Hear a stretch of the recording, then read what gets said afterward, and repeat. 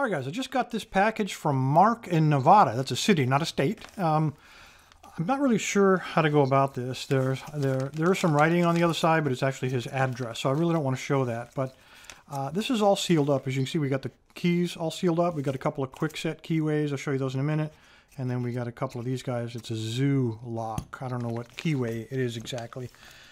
I don't know if Mark intends for me to open this envelope before or after, but if I bust it open before, it means I'll be breaking the keys off there. I really don't want to don't want to do that. So let's save that sealed envelope.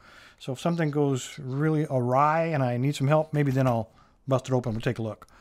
Um, these are both Kwiksets, and we've got these numbered number three, number four. Kwikset keyways, but they're not part of the same uh, lock set. There's a five pinner on number four and a six pinner uh, on number three.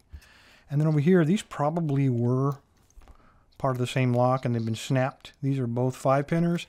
They both got some master lock, high security tape holding all those training plugs in there. So it looks like uh, Mark turned these into training locks.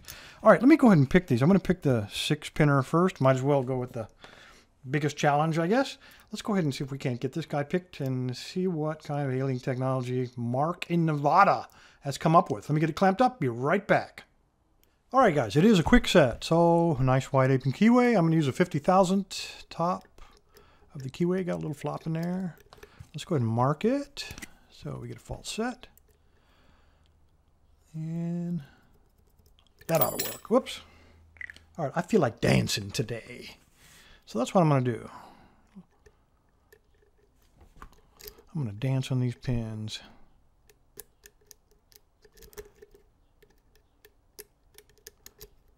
I am counting six, but I am feeling some crunching just from feeling around.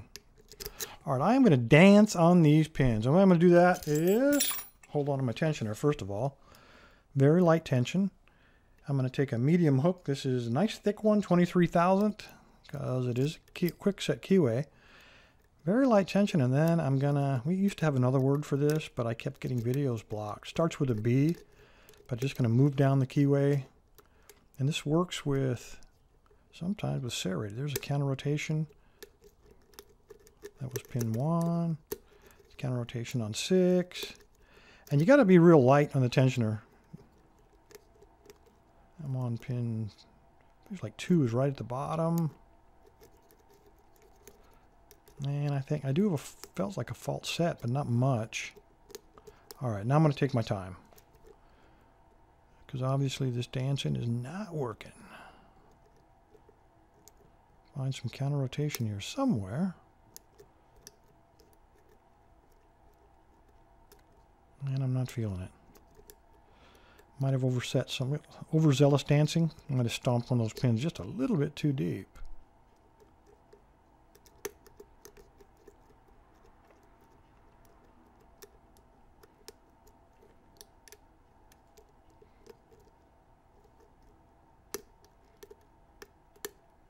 Just forced to number three a little bit higher. I got a little click out of him.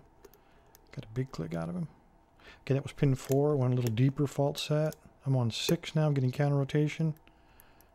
Back to dancing. And there we go. Dancing works. May not look real good when I do it, but uh, it does work. All right, let us see what we got in here. I'm going to try to... I do have a key. Let me move this right away what I'm going to try to do is see if I can't just remove that one side there. I don't know if those are taped in there. Take my scalpel and just cut that tape right there. Maybe that will be, no, all that holds it together. Yeah, there we go. That was the right one, right? No. Crap.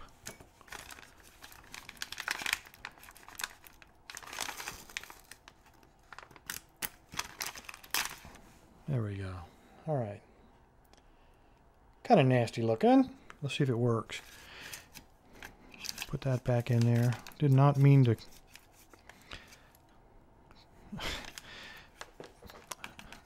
I should have... Well, there's no way for me to have flipped them over, I guess. But that was the number 4 key stuck in the number 3 side. And number 3 was in the number 4 side. Oh, well. Works... Whoa. It works really good going clockwise. Does not like going counterclockwise. Something, oops, something right there just really gets hung up. But it turns clockwise perfectly, and that's how I was picking it, so let's call it good. I do have to turn it counterclockwise. I'm going to gut it. I'm going to keep the pins up. All right, let's move all of this stuff out of here. Get us a tray. And a special tool. See if that works. Oh man, wouldn't you know it, not standard. It is based on a Kwikset, so what do I expect?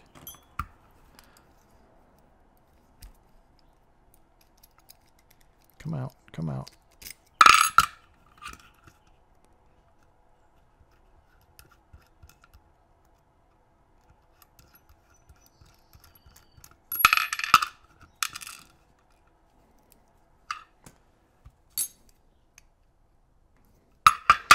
Thinking maybe it might not be a standard core either. All right, get in there. Come on, there you go. Something getting hung up in there.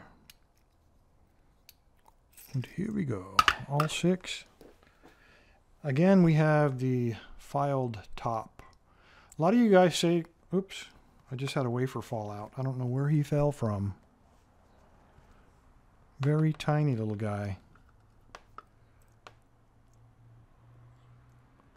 I don't know where he fell from. And everything looks to be right at the shear line. If anywhere, he came out number six. But it is like hair thin.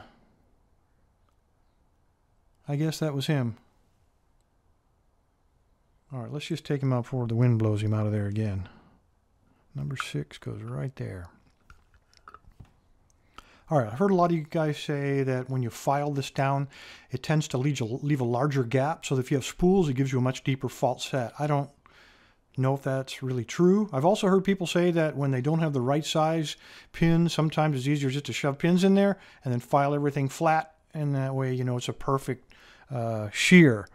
Again, I don't know how true that is. Uh, if you guys want to weigh in, uh, there's the comments. Go down there, check it out. I'm having trouble getting this key out. There we go and I'm seeing an awful lot of serrations. All right, serrated, serrated. Oh, that was interesting. There were two pins inside of there.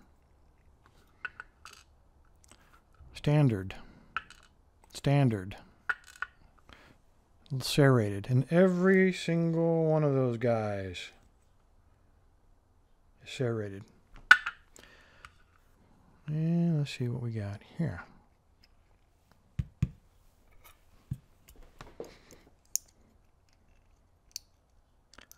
Oh, commercial serrated, and he's got a tiny, I don't know that's showing up there. It has a tiny little wafer on top of him, too.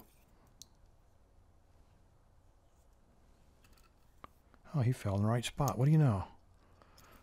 And Got to be a spring in there somewhere, right? There he is. It is a doubled up steel spring. All right, number two. It is a two-part pin. Well, again, we got a wafer here. And we had it, uh, I know what he's for. I know what he's for. I know what you're trying to do to me. All right. You guys ought to be able to guess that too. Let's save it for those of you. Be like a big surprise at the end. Be like Christmas. Again, I got a doubled up spring. And that chamber was also threaded. All right, number three. Again, I have a wafer and a T-pin. And again, I can tell you, I know, I've seen this technology before. It is not friendly.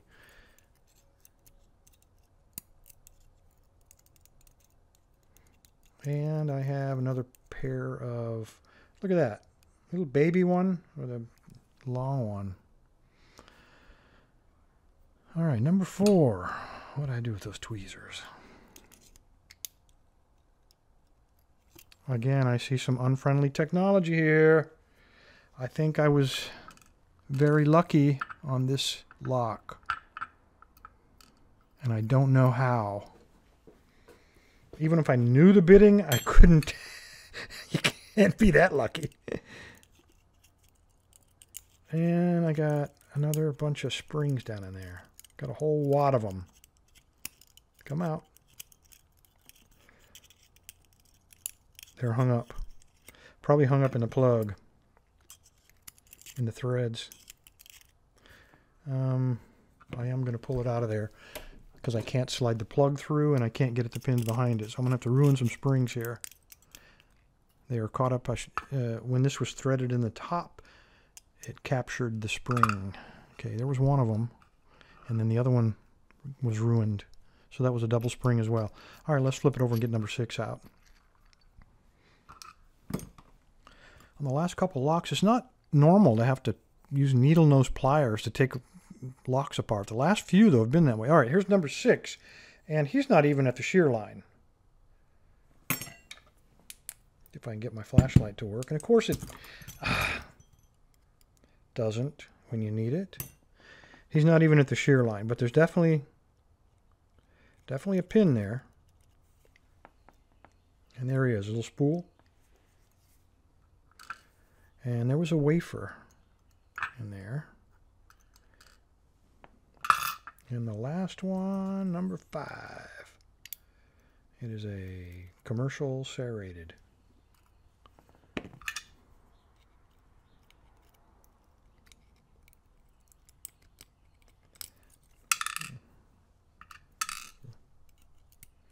Come out, come out, and a doubled up spring again.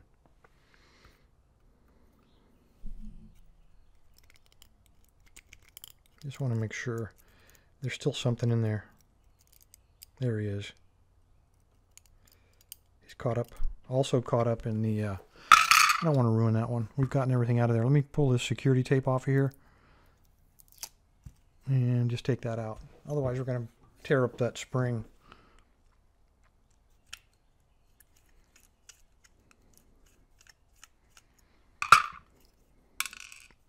Now we ought to come out.